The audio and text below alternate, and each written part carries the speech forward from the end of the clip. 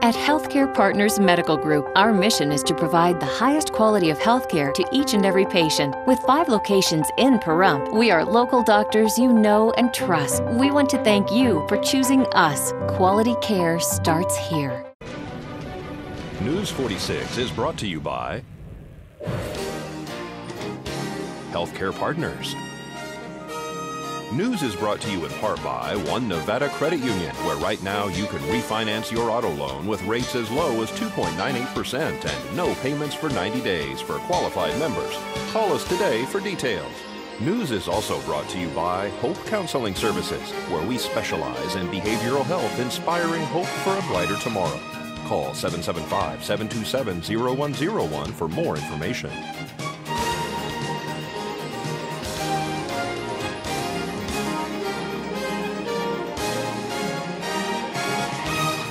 Tonight on News 46, a witness recounts yesterday's fatal accident. An early morning fire destroys a vacant home. And a ribbon cutting with rural health management. News 46 starts now. You're watching KPVM News 46 with Zach Fuentes and Monique Mitchell. Local coverage from Deanna O'Donnell. News 46. Local coverage you can count on.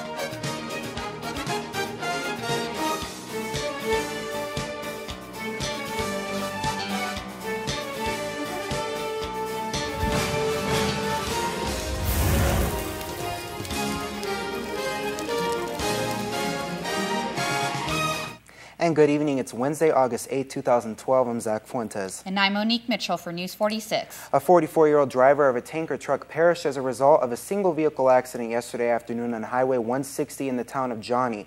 The driver apparently lost control of his rig around a bend in the road.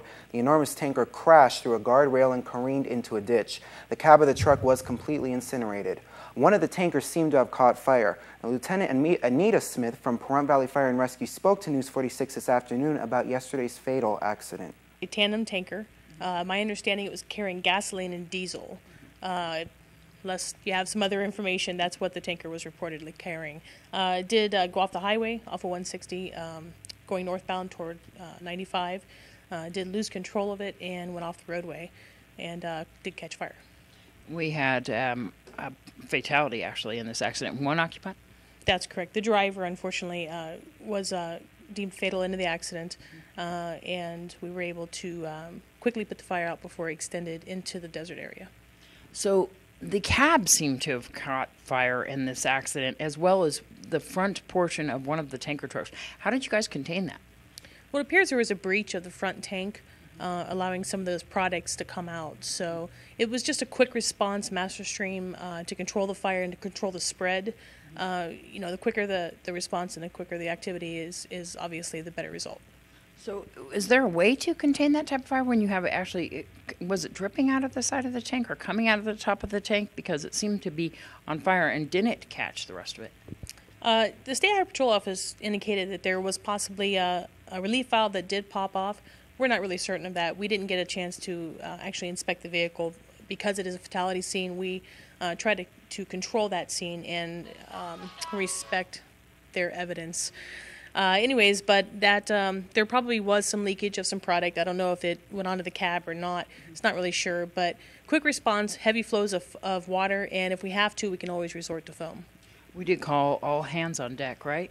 We did call all hands, uh, not just for the tanker fire, but to also take care of the uh, pending calls in the valley. And as well, Nye County Emergency Services responded, Nye County uh, Sheriff's Department and Nevada Highway Patrol? Uh, Nevada Highway Patrol, uh, I'm not sure about the Sheriff's Department. I didn't see them on scene, but we, um, we did respond with them, and Nye County has met, yes. And as far as the removal of the tanker trucks, did you guys have some to do with that? And how, how do you remove a tanker truck out of an area? It was it kind of in a ditch? we're not responsible for removing the tanker truck, but what we want to do is just ensure that everybody, all the players on scene, are safe at all times. So we usually provide manpower and an apparatus there just in case something were to happen. We'd be able to mitigate the emergency quickly. And a heroic attempt was made yesterday to save the driver of that big rig truck at the accident site on northbound or northbound Highway 160. Vidal Lopez spoke to News 46 about the traumatic, heartbreaking moments immediately following the accident and he and his co-workers attempt to save the victim. We're here at the home of Vidal Lopez, who was on scene at the fatal big rig accident. He wanted to speak about, what happened at the accident and send his condolences to the family. Well, we're coming home from work, approximately about 3:30 mm-hmm. from Beatty. We seen a big dust cloud, smoke right? I don't know where that area is, but where the curb is. And we were the first time, we were the first one there. There wasn't very many people around. So I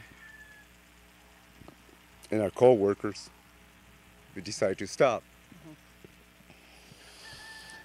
We ran down. He was still in there. Was he conscious? The windows were closed.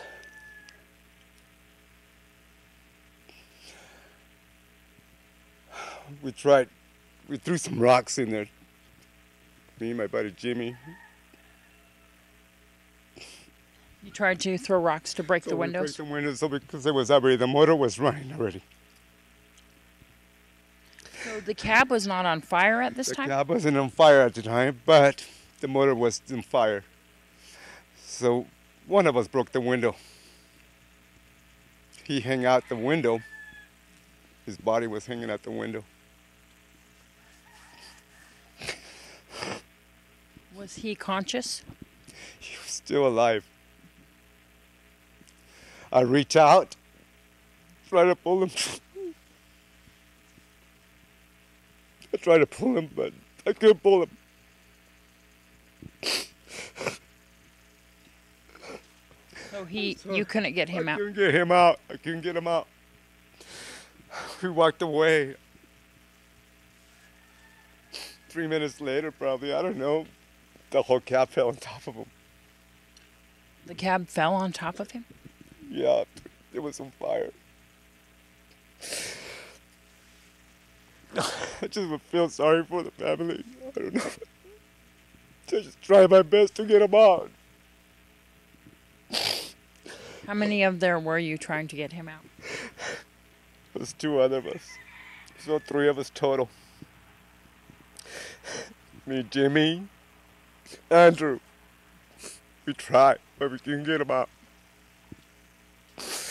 And I feel sorry for the family, okay? Another trucker stopped by. I guess he knew who he was. And he said, and I hope, I hope it wasn't him. I don't or anybody else that his wife was pregnant. That the truck driver who passed away, his wife was pregnant? Yes.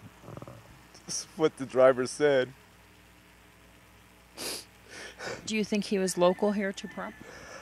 I'm not sure where he was from. He said they've been having, doing a lot of work, working a lot of hours. I, I'm sorry, I just don't know what else to say. You wanted to speak up about this and send your condolences to the I family. Sure, I sure do. I will pray for my mom, the family, for the for their kids. I'm sorry that this had to happen. You should not feel badly that you couldn't get him out. Um, I know that uh, that's weighing heavy on you, but you did your best. I tried. I tried. That's all. I mean, I know how the family's gonna be. And if he did have kids, he's in a better place right now. And pray to God that he's a. So he was a pretty young person? I didn't know how old he was because he was already starting to get burnt. I I don't know what age he was, and and if this so somebody lets me know how old he was, I, I would love to know, you know. And all of us at KPVM send our condolences to the family of this accident victim. This is Deanna O'Donnell for News 46. And folks, keep it here because we'll be back with more news after this break.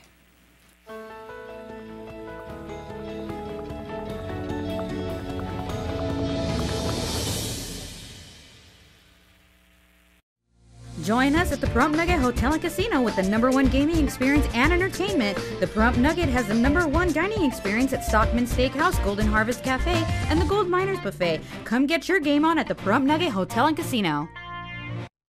This portion of the news is brought to you by Children's Dentistry of Pahrump, specializing in sedation dentistry, now accepting adult patients. Call now for free IV sedation with dental implant, 751 2184.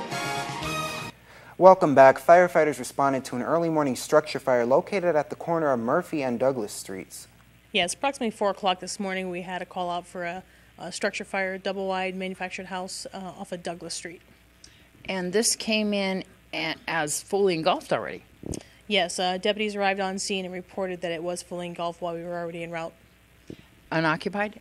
Unoccupied structure. Uh, our understanding is that it was vacant. However, the state fire marshal is currently investigating the fire.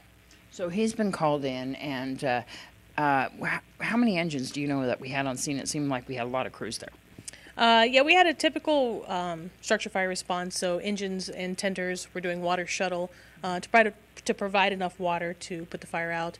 Uh, we used right around 10,000 gallons, which is um, about standard. An overhead master stream there. Yes. Master Stream gives us a quick ability to knock down the fire, keep it from spreading to other residences, and keep it to spread from spreading into the into the uh, wildland area. And this did not have any extensions at all to other homes, even though the Nye County sheriffs were talking about possibly evacuating. Correct. There was no extension to the home. Everything was contained to the property. And so we'll be looking at uh, perhaps how this started. The state fire marshal. He's investigating that currently.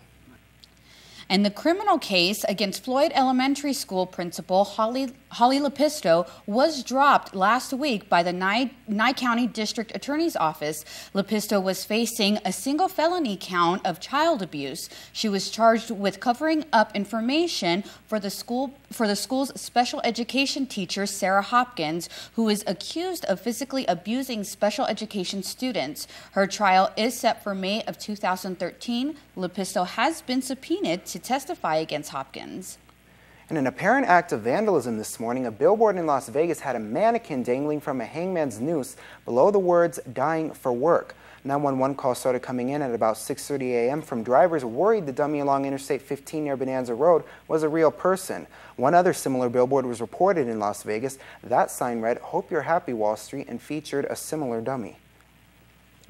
The Judge Wanker spoke at her meet and greet about Butch Andre Harper's condolence card that he is personally delivering to the city of Aurora, Colorado.